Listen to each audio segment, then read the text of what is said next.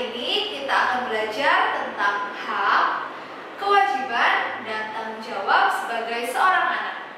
Nah, sebagai seorang anak, kita harus mengetahui hak-hak apa saja yang kita terima, kewajiban apa saja yang harus kita penuhi, dan bagaimana cara melaksanakan hak dan kewajiban dengan penuh tanggung jawab. Untuk itu, simak video ini baik-baik ya, dengan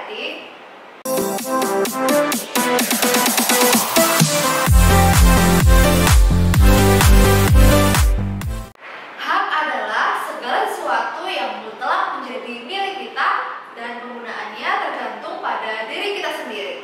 Sedangkan itu, kewajiban adalah segala sesuatu yang harus kita lakukan dengan rasa tanggung jawab. Dan tanggung jawab adalah kesadaran diri kita atas setiap tingkah laku dan perbuatan, baik itu yang disengaja ataupun yang tidak disengaja. Nah, oleh karena itu, apabila ada orang yang tidak melaksanakan hak dan kewajiban, bisa dikatakan orang tersebut tidak bertanggung jawab. Nah, adik-adik, kira-kira apa saja ya hak-hak seorang anak? Hak seorang anak di antaranya yaitu yang pertama, hak mendapatkan makanan dan minuman. Kebutuhan makanan dan minuman merupakan hak bagi seorang anak ketika berada di rumah.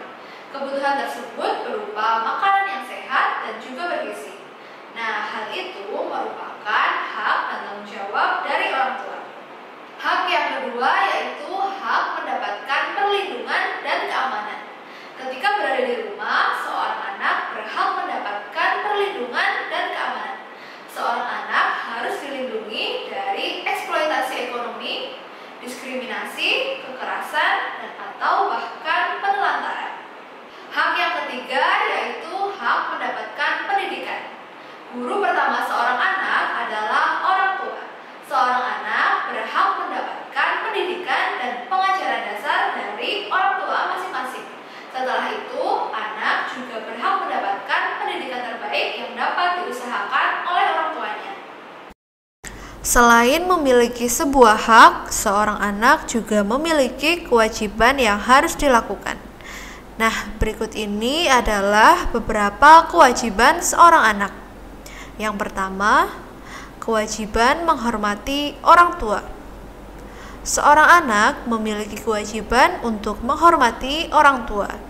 Seorang anak harus menggunakan bahasa yang sopan ketika berbicara dengan orang tua dan seorang anak harus patuh pada perkataan yang diucapkan oleh orang tua.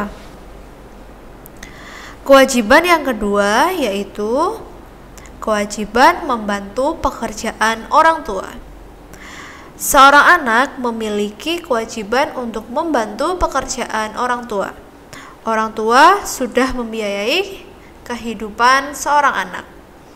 Oleh karena itu, sudah menjadi kewajiban kita untuk meringankan beban orang tua dengan membantu pekerjaan yang ada di rumah. Kewajiban yang ketiga yaitu kewajiban menyayangi orang tua. Seorang anak memiliki kewajiban untuk menyayangi orang tuanya. Seorang anak tidak boleh membuat malu orang tua. Seorang anak juga harus menerima orang tuanya dengan apa adanya, sebagaimana orang tua menerima dirinya dalam keluarga. Hak dan kewajiban seorang anak harus didasari dengan sikap tanggung jawab, sehingga antara hak, kewajiban, dan tanggung jawab menjadi seimbang. Berikut adalah beberapa bentuk tanggung jawab seorang anak. Yang pertama, membersihkan tempat tidur.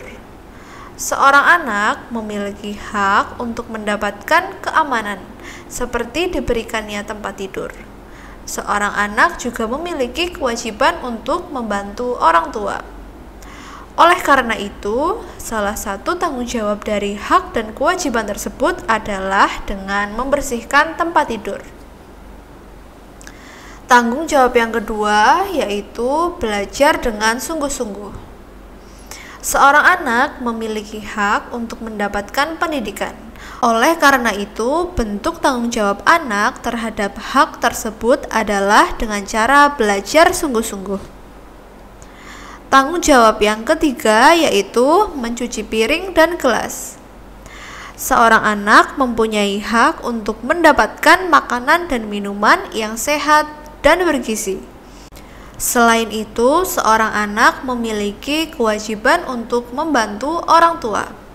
Oleh karena itu, bentuk tanggung jawab dari hak dan kewajiban tersebut adalah dengan membantu mencuci piring dan gelas tanpa harus disuruh oleh orang tua. Setelah mempelajari hak, kewajiban, dan juga tanggung jawab, kita harus menerapkannya pada kehidupan sehari-hari. Nah, setiap manusia tidak bisa hidup sendiri. Manusia pasti membutuhkan manusia lain. Oleh karena itu, kita harus melaksanakan hak, kewajiban, dan juga tanggung jawab dengan seimbang agar tidak terjadi konflik. Nah, itu dia ya adik-adik materi tentang hak, kewajiban, dan tanggung jawab seorang anak. Jangan lupa share video ini ke teman-teman kalian dan jangan lupa juga untuk like, komen, dan subscribe channel video edukasi eksis. Terima kasih. Wassalamualaikum warahmatullahi wabarakatuh.